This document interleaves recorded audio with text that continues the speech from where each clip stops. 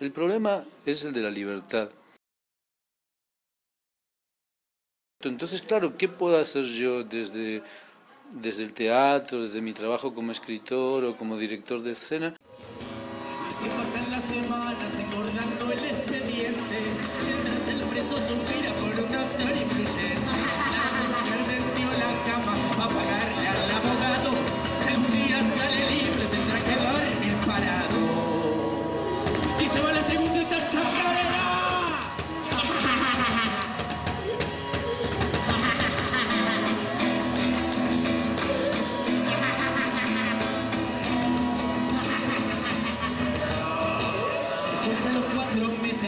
campanha